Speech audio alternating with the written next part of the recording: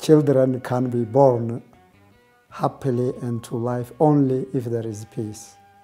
Service can be rendered effectively, fruitfully, only when there is peace, when there is understanding, when there is environment of peaceful situation. We work this together with other religions, other denominations, Muslims, Orthodox, Protestants. In Ethiopia also there is an interreligious council and only people can make peace. Peace is a gift from God and if we, we can accept the gift, good gift, best gift, and if we can share that gift, then it means we make peace.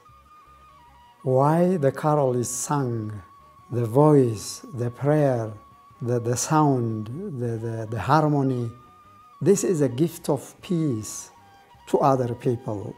In art of carol singing, for us, what we look like is uh, for young people uh, not to be afraid of others. I can give you in our schools, we have a Catholic, an Orthodox, a Muslim, whatever, all sitting in one table, studying. These children are friends.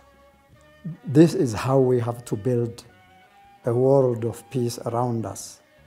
Uh, perhaps you visited in mountain area, isolated village, a family which can tell a lot of stories of hard life, but still smiling, still happy, still grateful.